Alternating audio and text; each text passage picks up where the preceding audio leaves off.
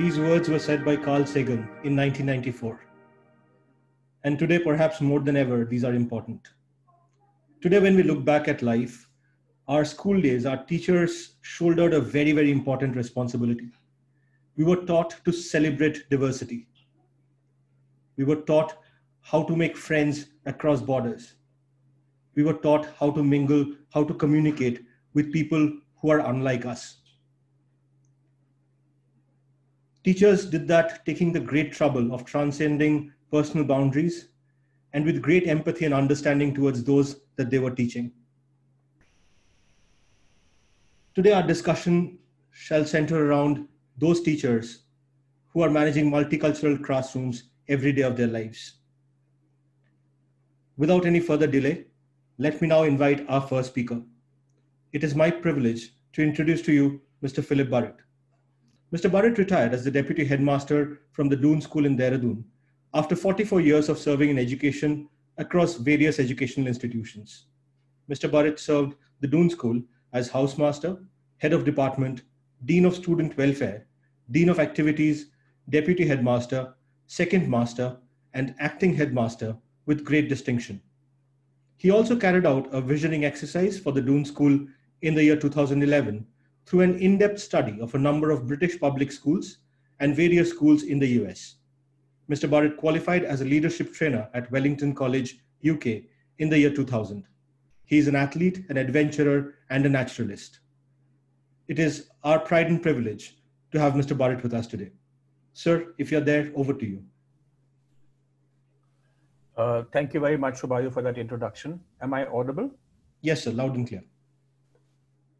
Okay. And a very good evening to you, Achin, our esteemed panel, and our wonderful guests who have tuned in this evening. So um, I want to start, I, in fact, I want to start with a story, but uh, story was so, um, so similar. Um, a friend of mine once uh, traveled halfway around the world and landed in South Africa. Um, and he was struck by the fact that he could travel halfway around the world in a jet, jetliner. It took him about 15 hours. But the moment he landed and he was being driven to his hotel, he witnessed a street fight. people were going for each other, almost trying to kill each other. And he wondered how we bridged the gap between distances, you know, with our scientific, uh, you know, mode of travel. But yet, we have not bridged the gap between neighbor and neighbor across the hedge. And uh, for me, the opposite of multicultural is narrow mindedness, nepotism, sectarian, parochial, insular, exclusive, and elitist. And I'm reminded of Tagore's famous poem where he talks about the mind being without fear and where the head is held high. In the end, he talks about the world having been broken into narrow, by narrow walls, fragmented by narrow walls. And I have to sadly admit, there exist schools all over the world today which embody just these qualities. It is here that children are brainwashed and taken back centuries. In a world which has become so unified and small, thanks to faster travel, globalization, international understanding, and foreign and international education being available to so many because of the ease of educational loans and porous international borders. Today, we can be born in a small village in India and study in the local school, but college should be in the nearest big city, with university in the USA, a post-grad degree in Holland, followed by a job in Australia, a second job in Canada, and finally we can even move to the Middle East. The world has become small. A multicultural class prepares a global citizen to work in the world of tomorrow. And so the multicultural classroom is an all-embracing and inclusive classroom Rather than shutting ourselves, um, it involves and includes others. For me, the Taj Mahal or the Great Wall of China or the Colosseum or the Pantheon don't belong to India, China, Italy, and Greece. They belong to all the peoples of the world. Similarly, for great art, great literature, and great music, it doesn't belong to anyone, it's universal. If one looks at places, lots of places unturmoiled today, we are riddled with racism and discrimination, from the Boko Haram atrocities to the Syrian tragedy, and closer home to the narrow sectarian religious problems, the anti and anti Northeast people. We discriminate against dark skinned people, women, the LGBT community. And where is this all coming from? Children are not born to discriminate and hate. They're taught.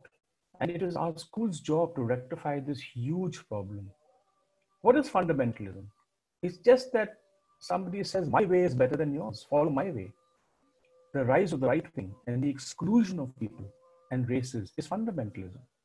Inequality, which is showing up in the suffering of the poor during this pandemic times, more than any other time. You know, uh, we have the, you know, we, we, we reserve the right, the tide. We have, to, we have to tide over the problems. And finally, religious dis- discrimination. The specter of war all over. War, we'll fight over territory, water resources, uh, we'll fight over everything. And this stems from a fear, uh, the fear that harps on differences and not commonalities. But again, war is a reflection of where we stress the differences, not our shared inheritance. Look at gender insensitivity. You know, the Americans today are scared that in another 10 years, the, the white race will not be in a majority. Well, my only advice to them would be to, to look at the fact that 60% of the abortions in America are white children, are white fetuses. You know, we are, we are doing away with the girl child, we have skewed sex ratios, there's crimes towards women, there's human trafficking, there's, sex, there's sexual exploitation. What does all this mean? It's just the rights of women and sexual preferences are, are being violated. You know, from the recent US racial issue, where to me it seems that the Ku Klux Klan is working in the guise of policemen and hatred and anger after over 150 years of freedom to the border clashes with China, you know, to the problems in Yemen. What is all this? And the solution to all this is an acceptance and an understanding where, where we come from. What can schools do?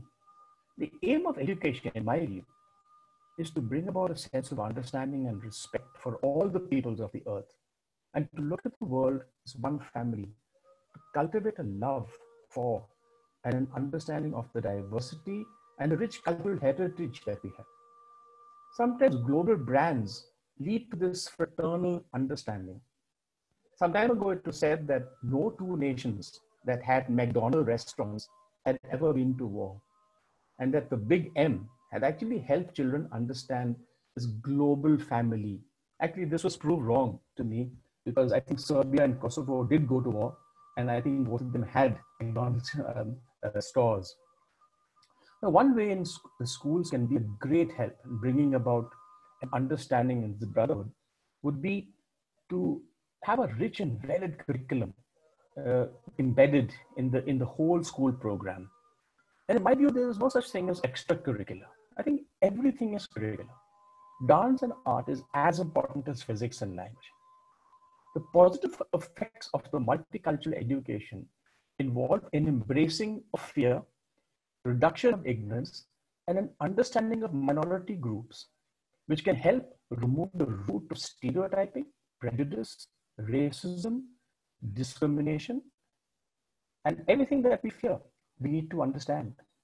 As I said again before, children are not born afraid and biased, or racist, or bigots, or cultural Philistines. They pick up this from the teachers, parents, and mentors. We in our schools teach them how to hate and how to behave differently. It's what they hear us say, it's what they what they see in our body language. And what can we do? Through subjects like history, geography, anthropology, they have to learn the respect. You know, we, we Islam is a very very little known uh, religion, and we don't understand it uh, through our foods and customs, you know, history and anthropology teach us that we come from the same stock, from that little spot in the East African highlands. We were one family, one group of people who moved out. And so whether you're Negroid or Mongol or Caucasian, we actually came from the same stock. history is full of stories of man's successes and failures. And, uh, and we can learn so much about how some societies thrive while others suffer. Uh, the folklore and the oral histories uh, from the view uh, of the subaltern studies. It's important to understand that history is always seen from the point of view who, who wrote it. Um, foreign languages is very important because when you learn a foreign language, you actually delve deeper into the understanding of a culture, of a people. Uh, I know in, uh, in a class once uh, in Bombay where I taught a lesson on Japan, and the kids uh, actually dressed up in traditional Japanese dress, and uh, they had posters depicting Japanese sceneries. The girls came in with umbrellas. We saw a film. We even cooked Japanese food against the backdrop of music. And you could do it for any country. You could do it for Arabia, or you could do it for South Africa. Um, aesthetics and arts, good schools have to have a thriving, bustling art, music, drama in the program, um, and, and which, which encourages diversity. And music, all sorts of music, from West African to reggae, you know, all sorts of music, uh, fusion music. It unites because music speaks this universal language. Drama, again, you know, um, important to understand um, um, how drama can bring people together. I remember one of my headmasters at Doon, um, we had put up this Hindi play. And in this play, there was a boy who had to um, dance. And, you know, he was supposed to, he was playing the part of a eunuch in the play. And I know that being a boys' school, there were a lot of sniggers and a lot of jeering. And the poor chap had to really, he had a tough time. But following that, the headmaster introduced dance to school. Dance became a very big part of our program, and even today we have an inter-house dance competition. So while dance was laughed at on, on the stage one day, it became an art form for the boys uh, three months later. So this is how you lead about an understanding of people. Stories, folklore and tales from all over the world. It's all universal. There has to be a mixing of genres. Uh, you know, books like uh, To Kill a Mockingbird, Cry the Beloved Country, Things Fall Apart, Remains of the Day, movies like Schindler's List or Mississippi Burning, The Kite Runner, um, 100 Years of Solitude. These all reinforce in our students an openness to other cultures to see how other people live. Movies, you know, I think a lot of good Bollywood stuff over the years, like Tare Zameen Par, to start to state a few, Three Idiots, you know, where they talk about mixed marriages, uh, class divide. This is all something that our children need to be exposed to. Again, sport the great unifier. Um, we are sometimes united by the football teams we, um, we, we, support, the clubs that are supporting. Um, look at the Olympic movement, look at Test cricket. Uh, I think people who play Test cricket are closer together um, than, than people who don't play cricket, let's say. Um, there's so much racism in sport and, and they speak out against it.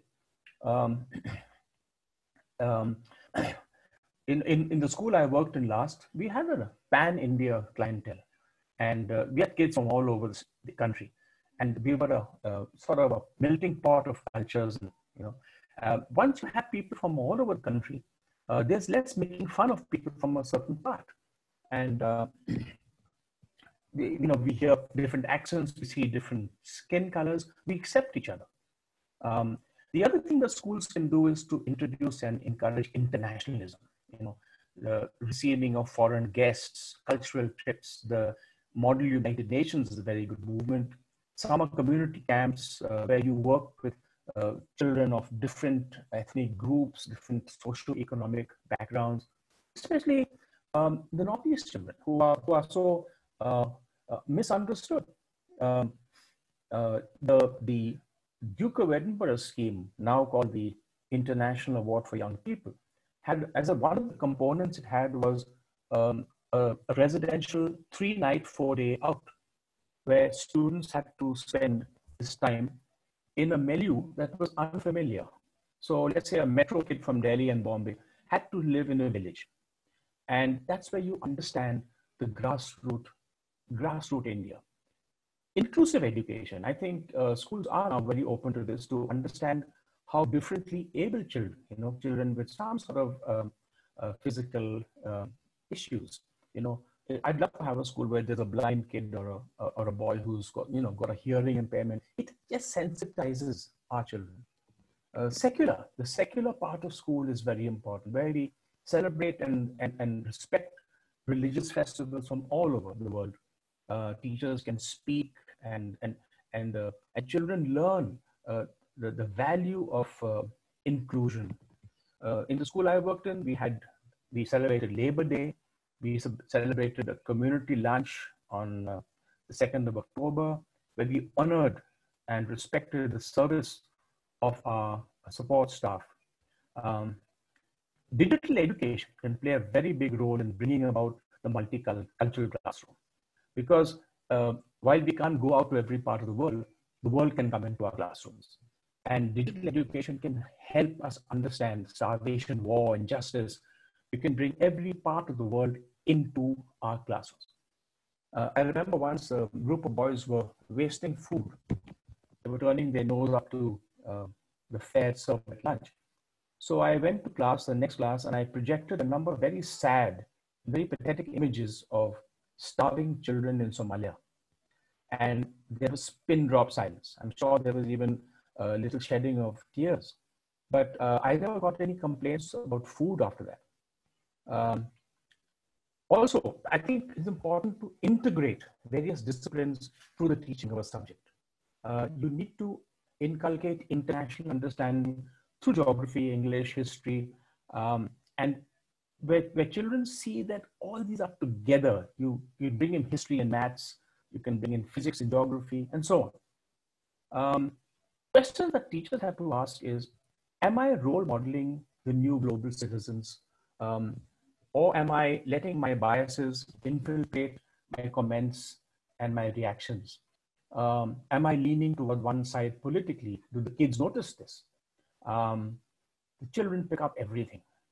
So, do I treat all students, no matter what their race or color, their beliefs, their social status, do I treat them respect? Am I fair in my dealings with them? So, a teacher's role modeling is also of paramount importance. And with that, I will hand it back to you, Shubhayu. Thank you very much. Thank you so much, sir. As I was just now saying that you teachers have taught us how to celebrate diversity. And listening to you, it took me back to my school days as to how our teachers would instill this sensibility in us. Thank you. Thank you so much. It is now time to move on to our next speaker. Our next speaker is Achin Bhattacharyya. Achin is the founder and CEO of Notebook. A chartered accountant by training, he was a director at Deloitte prior to starting Notebook. He has worked in India and abroad in various senior capacities in GE, PwC, KPMG, and Deloitte. Achin is an avid reader and a passionate traveler with a keen interest in economics, history, literature, and philosophy. He is a regular speaker at various forums and chambers of commerce and also contributes articles to numerous publications regularly. He's also on the board of some of the most renowned corporates and contributes significantly to brand strategies. Achin, over to you. Shubhavi, am I audible? Loud and clear. Good evening, everyone. I extend a warm welcome to all of you who are here with us today to discuss this wonderful topic, which is very relevant in today's cosmopolitan world. Now, economic necessities and quest for growth have facilitated migration of human race in search of opportunities. And thus, a lot of major habitats around the world have become melting pot of global culture. Now, very often, this leads to dual identity and a search for home, which has been depicted very beautifully in various works of literature. Now, one such masterpiece which instantly comes to my mind, where these moments have been captured very beautifully, is Tea with Milk by Allen Say, where little May suffers from the feeling of not being at home when her parents return back to Japan after calling San Francisco their home for years. Before I go ahead with my deliberation, I would like to specially thank and welcome our esteemed panelists who have joined us from around the world to enrich us with their thought process. Now, culture is a broad term and one that is not easily summed up. In her book, Culture Learnings, The Fifth Dimension on the Language Classroom, author Louise Damen very aptly defined culture on the lines of learned and shared human patterns or models for living and aspects for human and social interaction.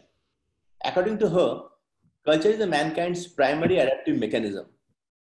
Thus, students from various nationalities, ethnicities, and races all bring cultural traditions to their interactions in the classroom. And it's up to teachers to recognize, celebrate, and share these different perspectives. In a globalized world, cultures from various sources merge to form a homogeneous way of life. And this process of intermingling takes time and generations. For a common way of life to emerge in terms of choice of food, be it music, arts, and other lifestyle preferences. Although children are more flexible than adults and are quicker in adapting to new way of life, at home, they're exposed to the culture that their parents follow, which may be significantly different from, from, from what his friend sitting next to him witness at home and also bring to the class. Also, first generation immigrants all over the world are very particular about being able to retain their culture, and rightfully so. Most of the times, even much more than their friends back home.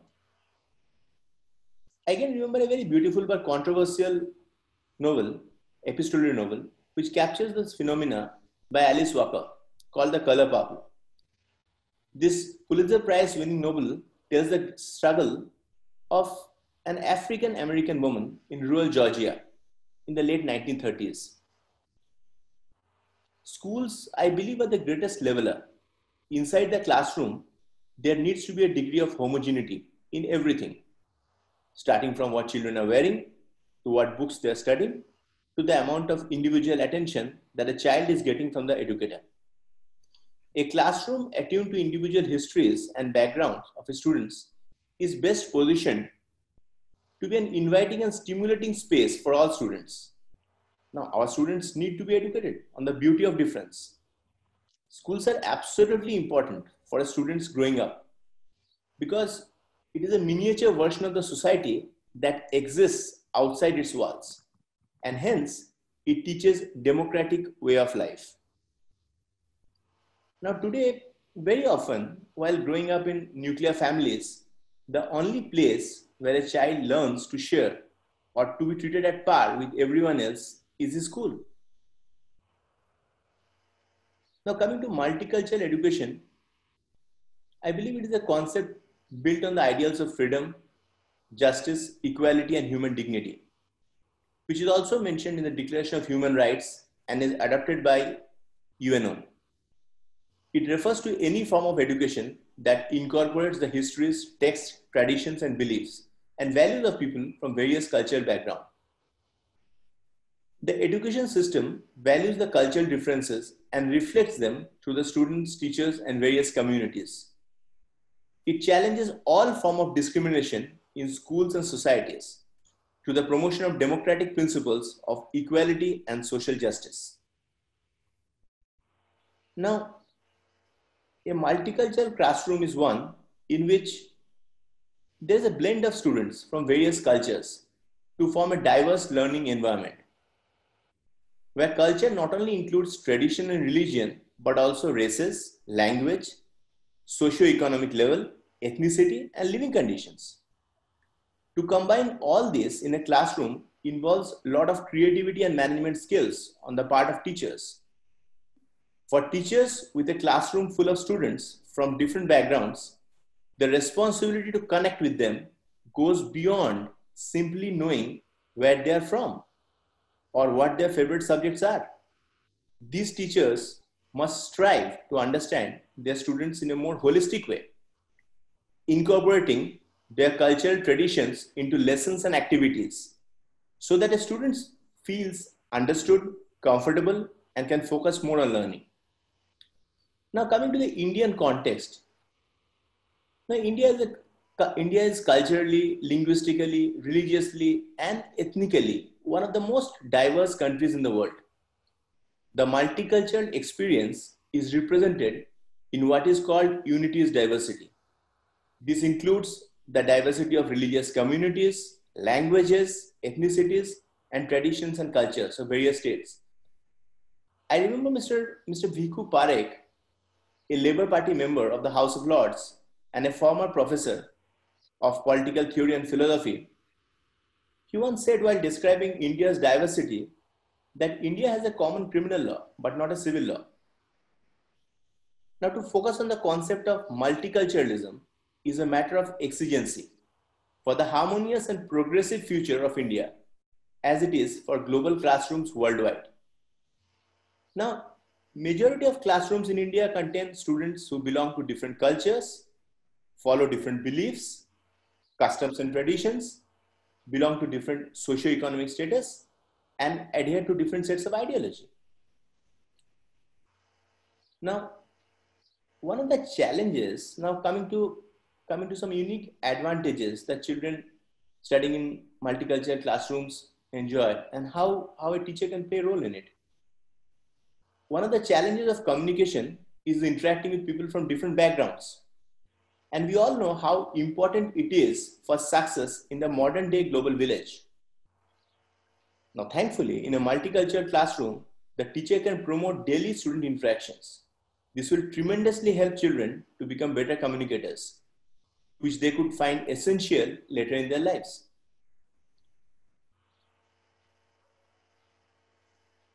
With a diverse population present in a single classroom, each student can share their own culture with their fellow classmates. The experience allows children to be open minded and to get a deeper understanding and appreciation of each other's culture. In essence, it can truly benefit and help students maintain a healthy relationship with each other. I, I remember reading a very nice book co authored by Her Highness Queen Rania of Jordan called The Sandwich Swap, where best friends Salma and Lily eat sandwiches at school every day. But Salma eats hummus and Lily eats peanut butter. Together, they work to overcome the differences among themselves. Now, one of the world's biggest social issues is stereotyping, which leads to unwanted judgmental attitude towards our fellow citizens. A multicultural classroom gives students and teachers the opportunity to show their empathy to each other, no matter what their backgrounds are. As children from different races come together in one classroom, teachers can use this opportunity to build a positive classroom culture.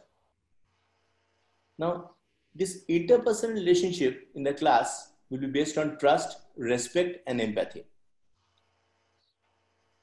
Now, one of the best things about being in a multicultural classroom is being able to celebrate different cultural events from countries around the world. And this is where only the teacher can play a role. Only he can promote this. For instance, holding a food festival may help students understand the origin and cultural significance of various dishes. Aside from food, students may also celebrate music, dance, storytelling, quiz based on different culture. So with that, I would like to thank all of you for giving me a patient hearing and look forward to the deliberations by our distinguished panelists today. Over to you, Shubhai. Thank you so much, Achin. Thank you for sharing those wonderful views about multiculturalism and how it impacts our education system. Now, in truly keeping with the theme of multiculturalism, we wanted to have speakers from around the globe. We are very fortunate that some people from different countries agreed to be part of the Together for Education webinar. It is now my privilege to introduce to you Mr. Dharminder Menon. Mr. Menon is the founder principal of the Dunes International School, Al Khobar, Saudi Arabia. He holds an MSc degree in physics with a B.Ed and has over 30 years of experience in the field of education, including 14 years of administrative experience of CBSE schools in India and abroad. He has been a senior secondary teacher for 16 years with a rich experience of running, running IGCSE curriculum schools as the principal, dealing with students on multiple nationalities. Truly, running a school in Saudi Arabia, Mr. Manon perhaps handles a large segment of the South Asian diaspora as, as well as students from various other cultures and countries. Mr. Manon himself has extensively traveled across the GCC countries and the US. It is our privilege to have Sir with us today. Sir, over to you. Uh, good evening to one and all. And uh, I believe the previous two speakers here, Mr. Achin and uh, our headmaster from uh, Dunes, he has already spoken a lot about the multicultural classroom and its management. Uh, I would like to just have some uh, real-time experience of handling the students from different country.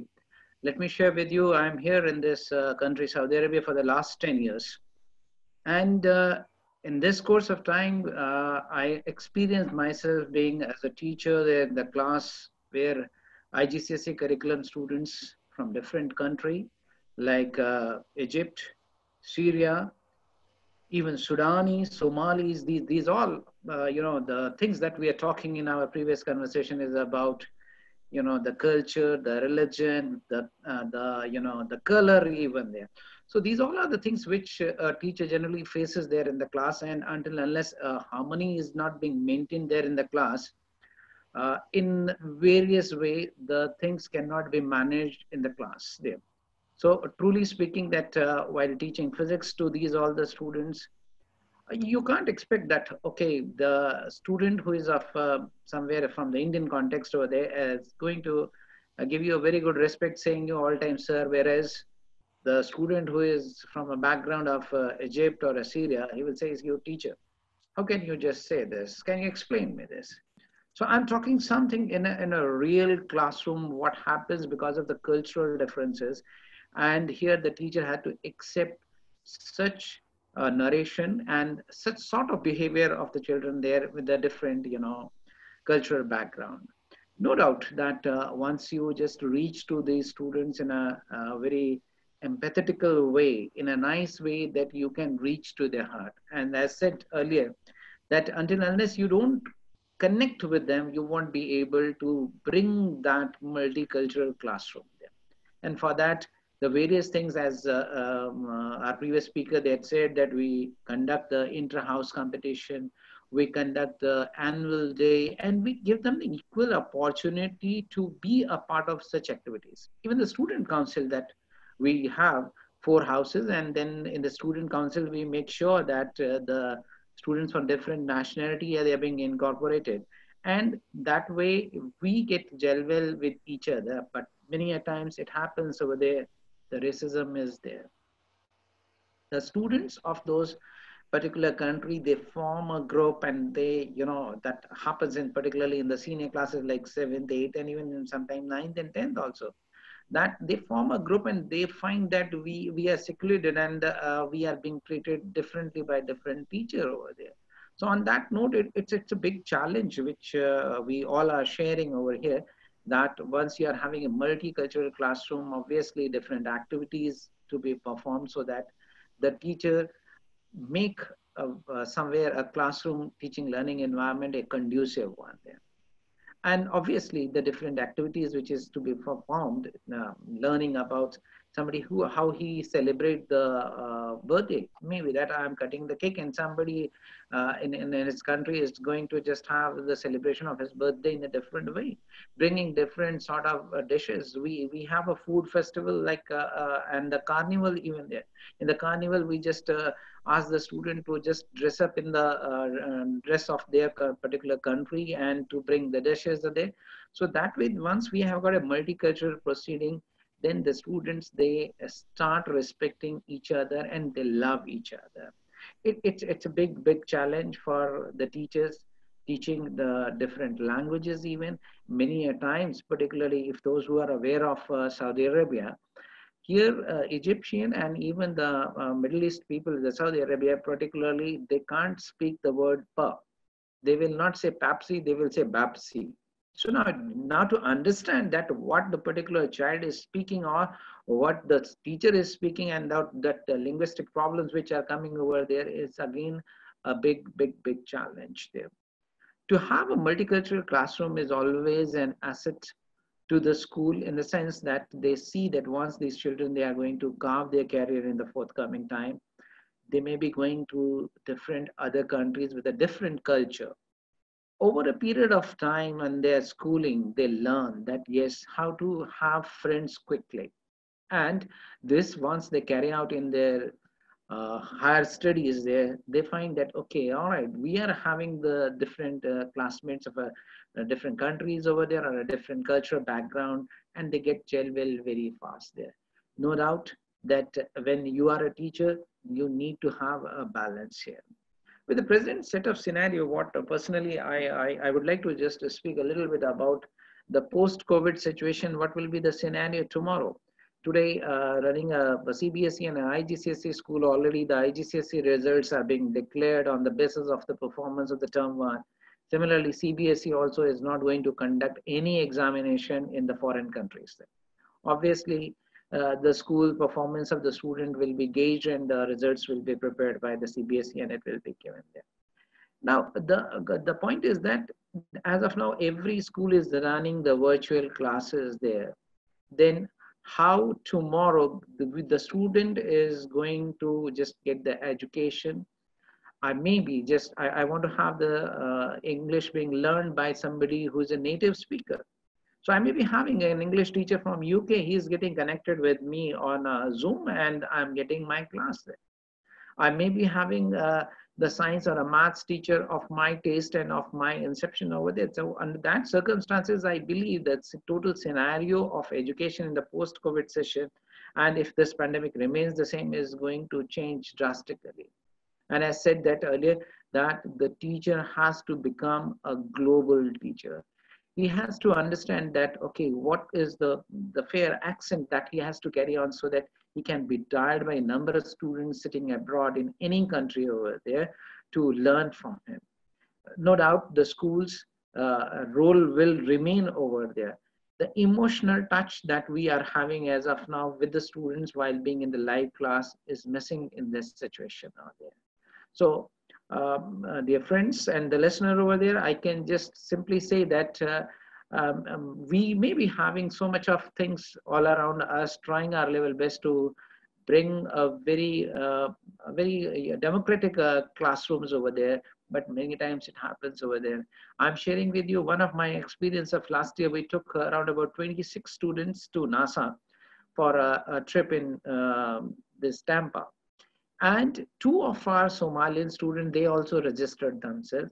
I'm sorry to quote that their visa was not processed. We are talking about today the, you know, somewhere uh, multicultural classroom. We are talking about giving equal rights to every person. The child who is studying in grade seven, at par his friends are going to US for a trip there and he's equally paying over there, but his visa is not processed because I believe people, those who know this fact, that in US Somalians, their visa is not being processed.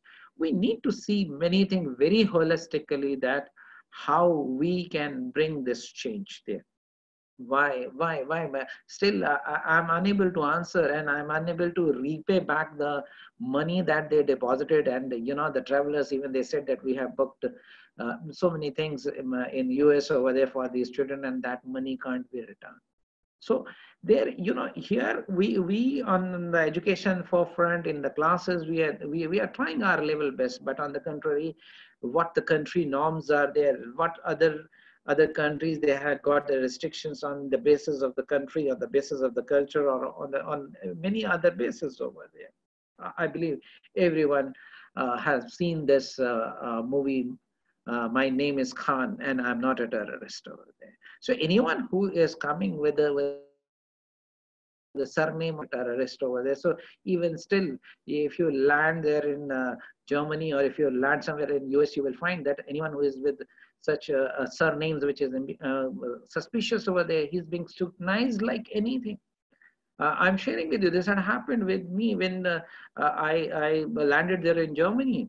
And uh, uh, my one of my student, he was uh, put aside over there because his name was matching as per the computer system with some something suspicious over there. So I said that okay, all right. Once he will be scanned, I also will be scanned. I I, I accompanied him. I told him, don't worry, nothing will happen. We will pass on very well. So what my submission in today's discussion is that no doubt with so many activities like you know the food culture, the carnivals, while having a multicultural classroom, we are trying our level best to give the best education to the student to let them be globally compatible. Simultaneously training the teachers also on those lines that yes you you need to just work out with the help of so much of teaching aids with you that you can reach to each individual. So i believe that these live experiences that i am having uh, with the over a period of uh, last 10 years with the different nationality students has uh, given me a different insight to look into it. I'm telling you, the Chinese students, they are very, very good in mathematics. They, they do excel. I, I, I am sure that the girl who had appeared this year from a CBSE examination in grade 10, she's going to score 100 out of 100. There, there, there are many, many other students, those who are wonderful other than the Indian nationality or there, but um, many a times we face that such uh, big discriminations are there. The student, once this Chinese student is going to join in grade 11, I don't know what sort of uh, things she is going to face because of uh, uh this pandemic, which has originated from in China. So uh, there are so many things as a, a, daily challenges which comes to us there. And I believe we as a teacher and uh, my team the, of teachers over there and I as a principal tries our level best to handle such situations. And and is, is a challenge over there. It's a, a big big challenge there. Uh, i i believe that much of the things are already being spoken by the two uh, previous speaker. And uh, of course uh, for the teachers it, it's a big challenge managing a multicultural classroom students they learn a lot in the multicultural classroom and they become a global citizen. And i believe that to be a successful person you need to be globally compatible whether it is a teacher or whether it is a student. Uh, i'm done mr achin and uh, it's over to you. Thank you very much for uh, inviting me to be a speaker over here. Uh, i believe i could be able to share the live uh, things which i have experienced during my uh, last uh, seven to eight years with the international students over here. Thank you very much. Thank you so much, sir. This was absolutely fantastic. We have been talking about multiculturalism from our perspectives, but your role as an administrator and as a teacher with so many nationalities inside your classroom dealing with international travel policies is quite mind boggling, to be honest. It's been an absolute privilege listening to you, sir. Thank you so much. With that, we now move on to our next speaker. Our next speaker is Ms. Monisha Datta. Datta ma'am is the co-founder and director of the Doon Girls School and the Dehradun Boys School in Dehradun. She holds a postgraduate degree in computer science with an MBA in advertising. She started as a software developer and then moved on to training, where she discovered her passion for education. And now she has over two decades in the field of education. At her schools, she remains actively involved in teaching, curriculum design, and training the trainers. Personally, she is an avid reader, a nature enthusiast, a vocalist, a painter, and an equestrian. It's our privilege to have Ms. Monisha Datta here with us today. Ma'am, if I may invite you.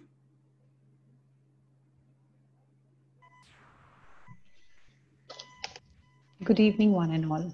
Uh, it's been quite an enlightening evening listening listening to Burrett sir and Mr. Anchin, Achin and Mr. Manon now.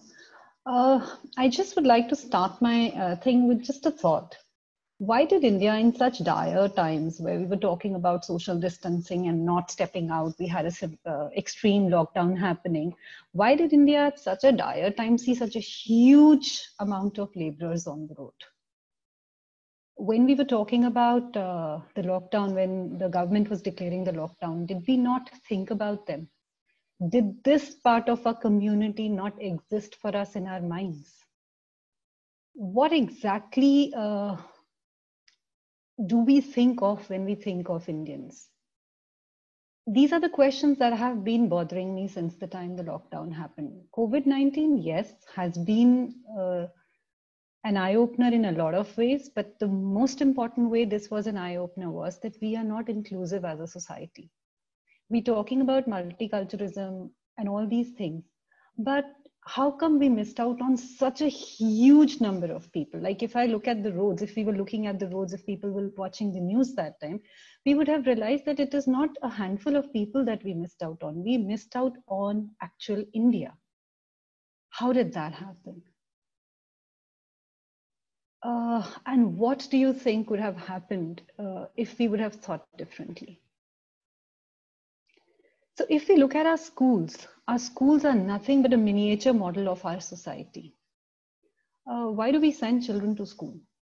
COVID-19 has shown us very well that education can be imparted anywhere and we're still not missing the human touch per se, right? But at the same point of time, okay, we're not into that much of a human uh, touch, but we are still there. So education can be gained for a person who wants to be educated will ensure that they get education wherever they are then what is it that schools teach us? Schools basically, you send children to schools because you want them to learn social skills, social behavior.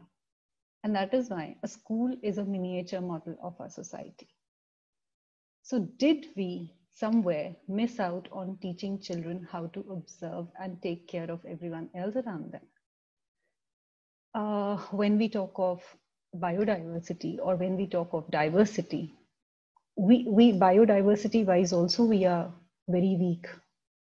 Whether it is nature whether it is our own own human species i think there is too much of segregation. There is too much of compartmentalization that is happening. So as schools we have to teach children how to adjust in the society and to be a positive contributor in it if we rightfully say schools um, contribute to the social and the spiritual development of the school of, of a child. So if we look at a, the india's if we look at india's population we are i think the second largest. And this gives us a huge opportunity to observe the diversity that we have.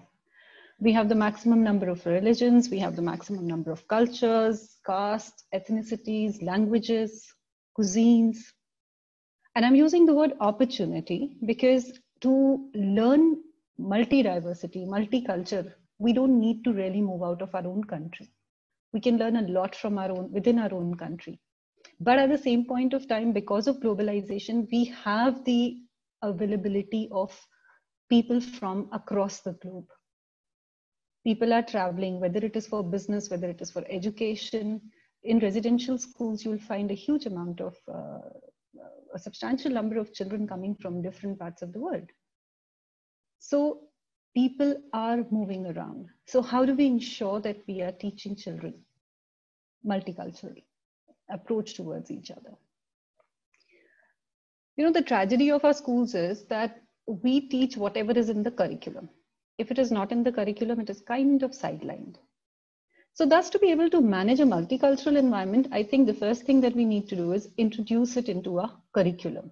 Our curriculum should be designed in such a way that there is a subject known as a multicultural study or you know understanding uh, uh, importance of tolerance importance of respect learning empathy so everything included in the multicultural studies and if we are talking about schools to include this as a curriculum, this needs to be added on in the curriculum of the uh, teacher training program also. We should have teachers specially trained to be able to teach cultural diversity to the students of all age groups. And no child is young enough to not know about racism or not know about discrimination. They face it every day of the school life, some of them. Sir had very rightfully said children learn mr Burrett when he was he started with this thing he said the children are not biased. We teach them. The adults teach them all the biases. Why is it when we are looking out for the princess role it's always the fair person the pretty looking one who gets the role and anything which has to do with um, not nice or wicked is given to a person who's dark complexion or a little fat? Why do we look at the physical attributes when we are giving roles to the children in place are we not indirectly telling that child that, oh, if only you were fair, you would have got that role? So we have to be watchful. As teachers, we need to develop our skills to be able to understand multicultural diversity. If we look at our country, I uh, think multiculturalism is a new concept for India. Till up till the medieval times, we were a very conservative and a closed society. Most of our gurukuls were based on the concept of caste. So, you know, we never really needed to understand the different cultures. And when we look at our, our classrooms of today, we can find children from every possible religion, every possible caste, every belief, even different class. So we cannot afford not to be aware of it. And at the same point of time, our children are getting exposed to every possible piece of news that is available in the world, whether it is to do with religion, whether it is to do with uh, casteism, anything. They have questions. They are all growing minds which have got a lot of queries in it. How do we address them? How do we answer? How do we make them sensitive to the understanding of each other's religion and culture? So as teachers, if we are not able to sensitize our children, we are failing as teachers. We are failing as an institute. And most of all, we are failing as humans. See, most of us have grown up in the era when we've had grandparents who have been a part of uh, partition.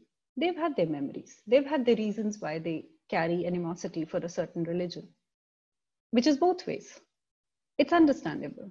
But are we seeing those times? Then why are we ensuring that we are creating another time like that? Should we not ensure that our children are not replicating the mistakes of history?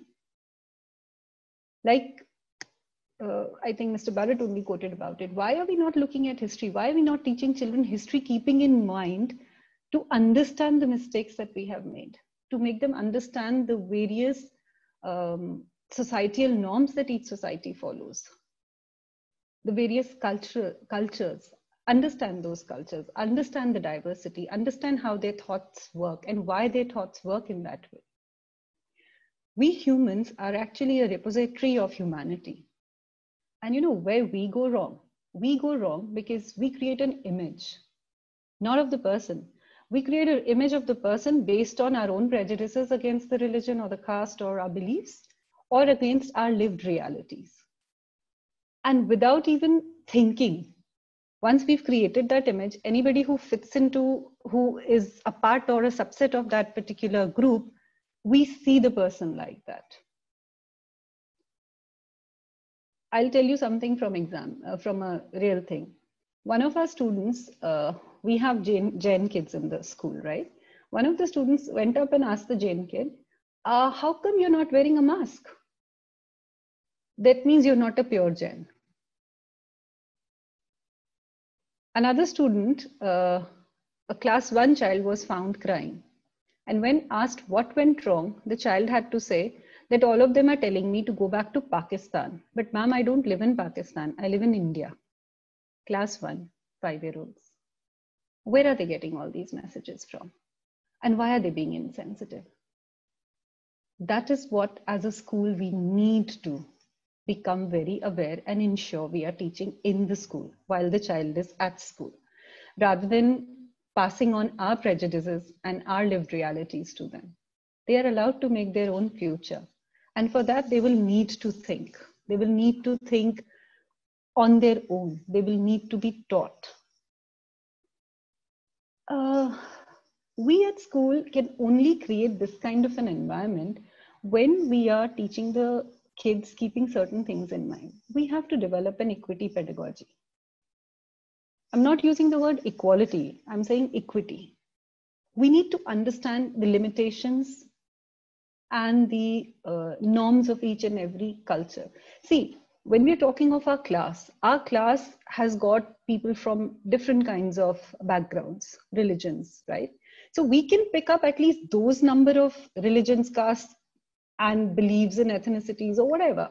And then just discuss those. Can we exchange information regarding those between the children?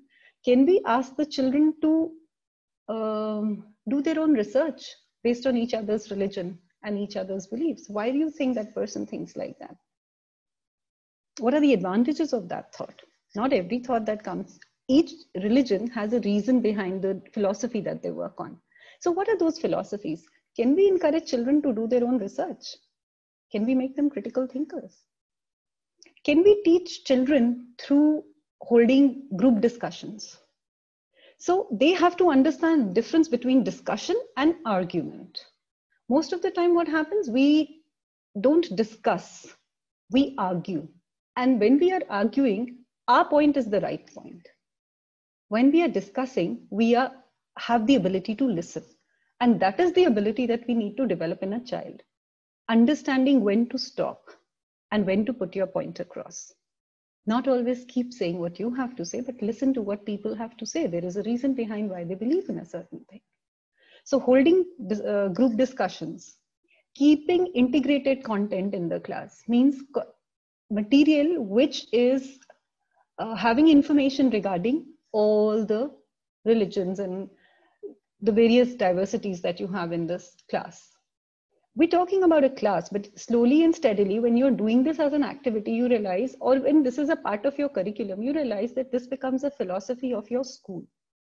So when a child of a different uh, background walks into your class, a different religion walks into your class, there is an anxiety there's not an anxiety there is an enthusiasm among the classmates they want to know about their person they want to find out more about it. They will welcome the person and maybe dressing up the way the child is. So it has to become an integral part of our system. And the biggest challenge comes when we are talking about religion religious beliefs uh, especially the wrongs done by one community onto the other.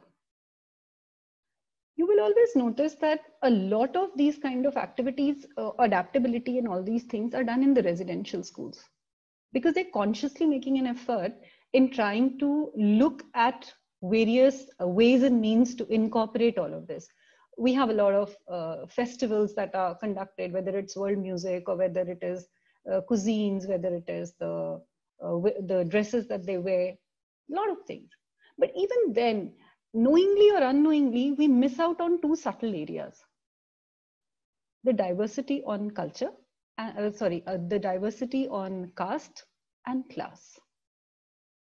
Either we're not comfortable to address it as yet, or we're still struggling with the idea that this doesn't exist, at least not in our space. So we all need to just come out in the open and have discussions. As teachers, we need to change our mindsets, read more, understand each other's culture more. And we have to remember one thing. Children of today, whatever we are giving out to them, they are going to give back to the society. Tomorrow, we cannot say that they're not sensitive enough. We did not contribute in making them sensitive. They're not empathetic enough. They're self centered. All that happens when we as teachers fail to instill those things into the children. And nothing is possible without building relationships. We have to be culturally sensitive, but more than culture sensitive, we have to be human sensitive. We have to learn to build bonds with our students. And whatever we do, they just follow. So if we are empathetic, if we are unbiased, if we are non partial, I'm sure the culture will be built on its own. Thank you so much. Thank you so much, ma'am, for sharing those wonderful thoughts with us. As you said rightly, the students need to be taught to think independently, develop their own perceptions and thoughts, which is something of a rarity in this world, given the echo chambers that social media often builds around us. Taking a cue from there, what I will do is quickly show you our product notebook and I will try and tell you why what ma'am said was so pertinent to all of us.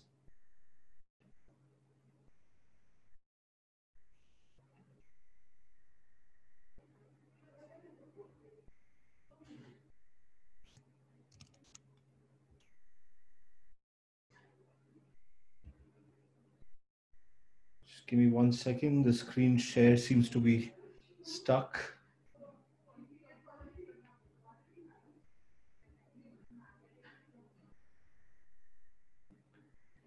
Yes. Uh, as all of you know, Notebook is an education technology platform.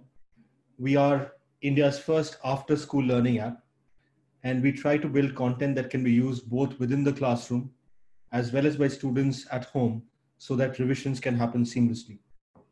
During this coronavirus lockdown, we wanted to help the schools out in every way we can, for which we allowed free and unlimited access to all of our content. With all the teachers in attendance, I'll take this opportunity to quickly show you for two minutes how you can get that free access. You visit www.notebook.school, click on this button, login on the top right. Once you click on that, you would be asked to enter a username and a password. Username is study at home. Password is 1234, and it's that simple. Click on login and you enter the site.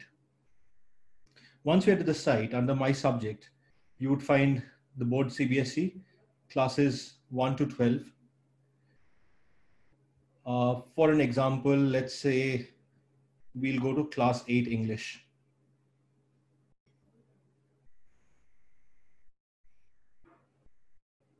Under English, you would find the various subtopics. Grammar, writing section, prose, poetry, even internal assignment topics given. Every topic could browse across the topic you want, click on that topic, and the topic would play. We provide very short, crisp videos that take up less than 25% of a classroom time and can be used to stimulate a very engaging discussion around the topic.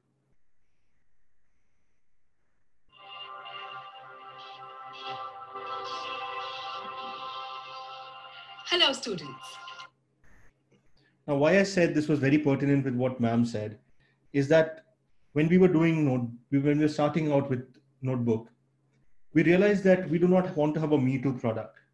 What was the need for another digital learning platform to exist? And we realized that most of the other learning platforms rely very heavily on animation. Animation is eye catching for sure. Unfortunate reality is it often distracts the students and students become a passive observant rather than an active participant in the learning process. Instead, what we did is we created a system called augmented storytelling, where a human instructor comes on screen, narrates the story of that particular topic, be it maths or science or English. And then that storytelling is augmented with hand-drawn illustrations, high quality music, and some amount of graphics that make the student imagine the two the the the stages between the two steps that they can see on a video. This makes the student a far more active learner in the whole process. I'm sure the schools which are present here today will find the free login useful and can share this with their students and other teachers for a seamless online learning experience. With that we shall go back to our topic for the day. And it is now time for me to introduce our next speaker. Our next speaker comes from 12 times away.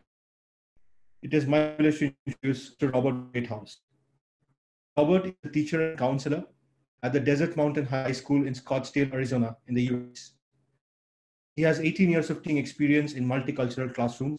Robert is also a sports and nature enthusiast. Robert, if you're online, could we please have you? Hi, thank you for having me. My name is Robert. Um, having a multicultural classroom uh, when I was young would have been a good thing. Um, you wouldn't have been. Uh, you, Robert. Would you want to switch on your video?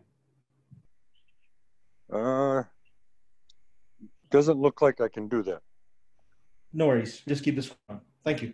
Please carry on. Um, when I was growing up, um, there was really no multicultural classrooms. There was this group and that group. Um, if we pretty much had that stuff back, I don't think we'd have most of the things that we have today um, with racism, um, people not understanding um, just like the racism we're having going on um, now. Um, with all the riots and protesting, I don't believe we would have all that stuff. I believe our children could understand each other. Um, you know, work together.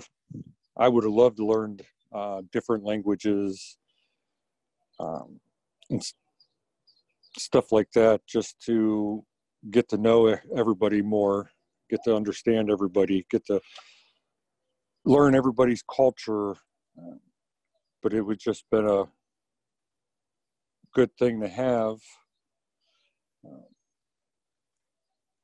with the racism that's going on in the world, I mean, everybody sees everybody for who they're not. They prejudge to where you see a gentleman walking down the street of a different color. You know, first thing a lot of people do is they walk to the other side so they don't have to walk by them. They don't have to say hi. They don't have to do anything. They don't, they don't understand them. Um, you have just people anywhere you go is as soon as you see the person, you already made prejudgment. Um, in the world that we have now, we can't do that because everybody's got their own quality. Everybody got their own um, bad quality. But if you get to know the person for who they are, um, you you can understand and become friends. And um, I'm a good friend with anybody I can talk to just so I can learn more about their culture, learn more um, about their wording, um, their language, their background, anything like that. Um, it would be, it would have been a lot better for these days than for the than to deal with all the racism that's going on. Um, I just keep on going back to racism. I mean, that's a big part of the of human life where like i said everybody just judges everybody and they don't even take the time um, you got like i said the racism that's going on here everybody's looting everybody's they're not doing the protests. They're more or less just vandalizing taking people's businesses down.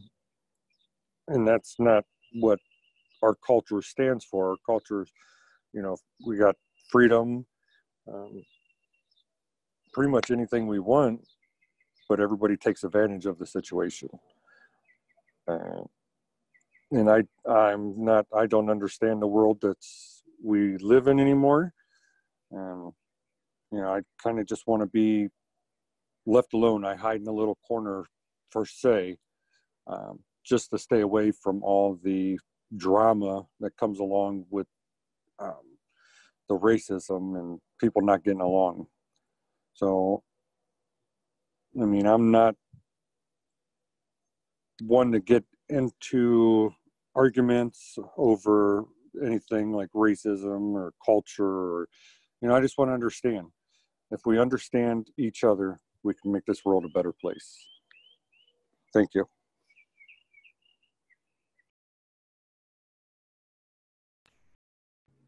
Thank you so much, Robert. I know we woke you up at an ungodly hour at uh, Arizona, and thank you so much for making time for this. You're welcome. Uh, if you could just uh, stick around for a little bit, we would want to take a few questions, and if any are addressed to you, if you're okay with that. Yes, I am. Great. So, ladies and gentlemen, with that, we come to the question answer sessions. Uh, we have seen some people type in their questions during the session, and uh, some of them have already been answered by the experts we have had. Uh, just a couple of questions that came to us during the registration, and uh, we will just quickly try and address those. The first one I would address to Achin. Achin, we have a question regarding how is content created for online education, keeping in mind multicultural audiences. Would you want to take this one? Sure. So I think uh, very, first of all, that's a very pertinent question. And uh, see, when it comes to creating online content, as you rightly mentioned, that uh, we cater to a very wide range of uh, students For instance, today morning, I was just uh, going through our dashboard.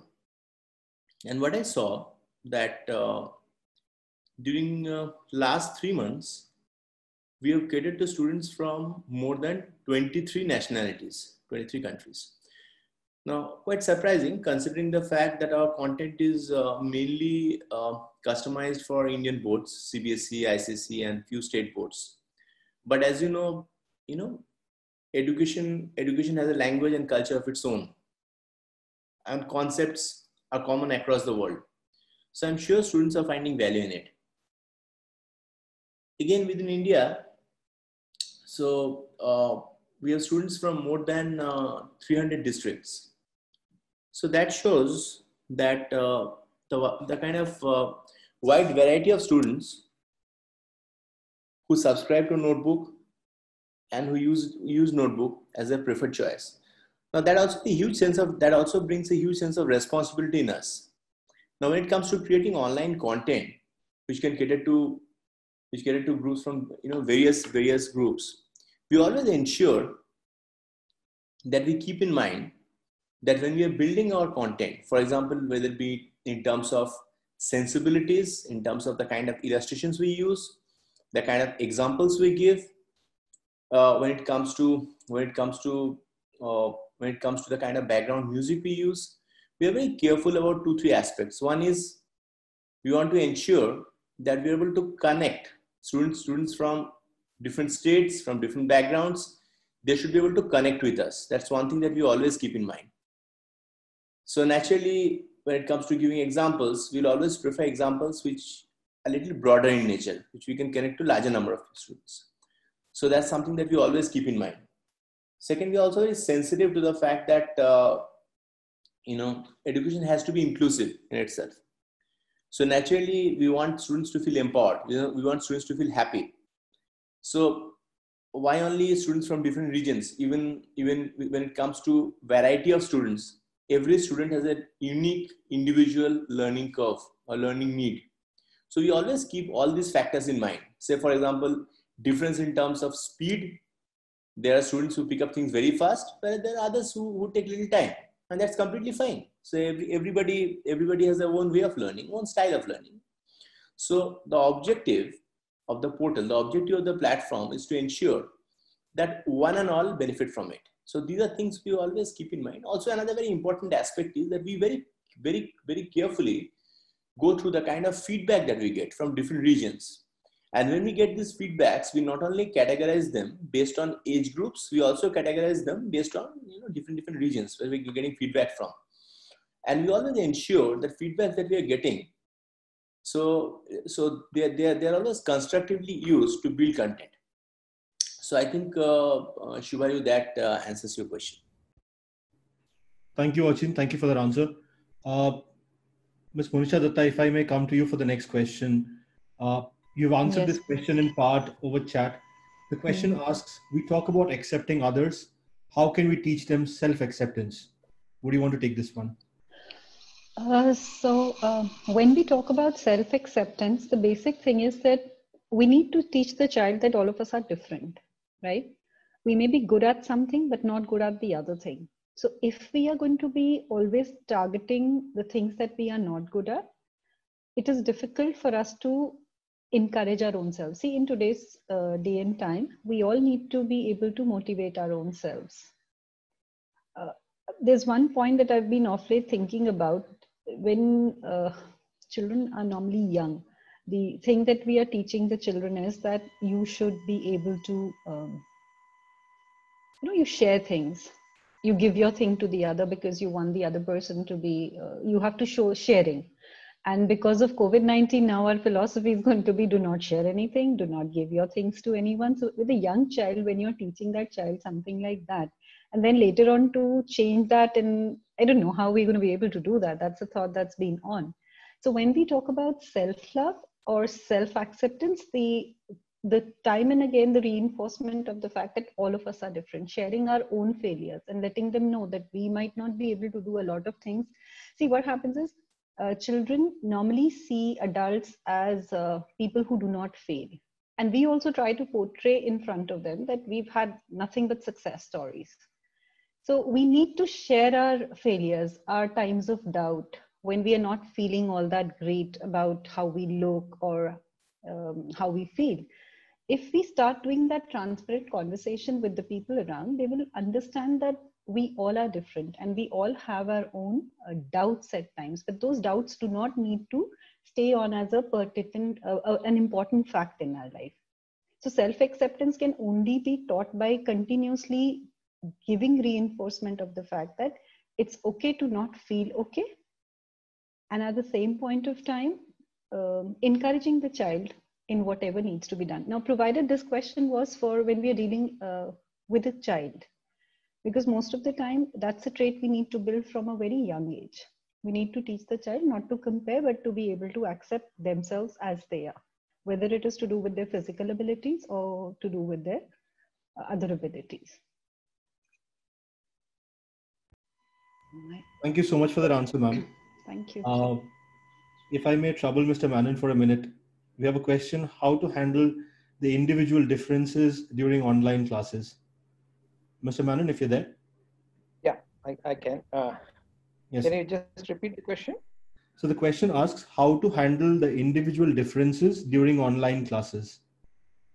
Uh, of course, uh, as I told you that uh, during online classes, um, the things which uh, a teacher is missing obviously is the emotional touch. Once you are just having the online classes, the face reading which a teacher does over there is not possible and whether a child have understood that particular concept or got defocused there in between can't be interpreted so under that circumstances you know uh, the teacher uh, that's why it, I, I shared with you that we should be able to reach to the student the best possible way through different videos through different animations and other things over there so that uh, we we can you know deliver them in a very fair manner um, of course, the individual difference will remain and uh, will remain always there.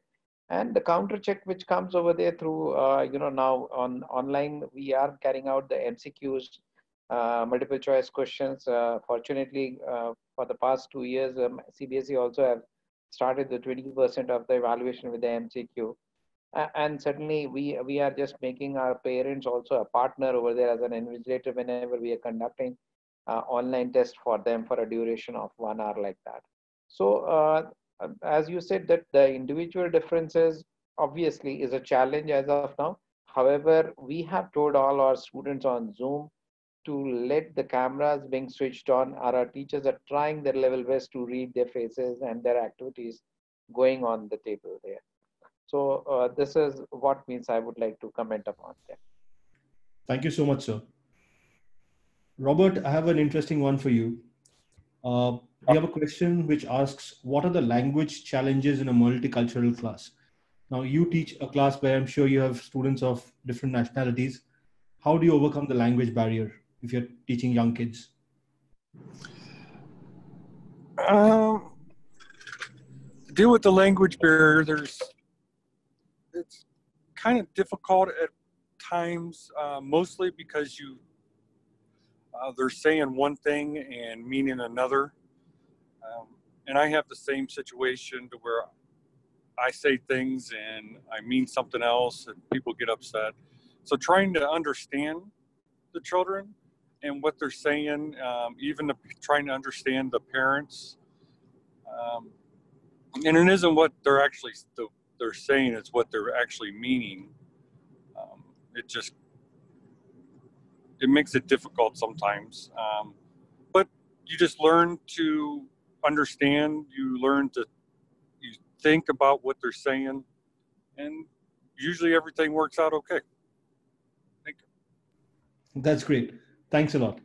I think that's all the time we have for question answers today. Uh, ladies and gentlemen, we have been doing multiple editions of this Together for Education webinar.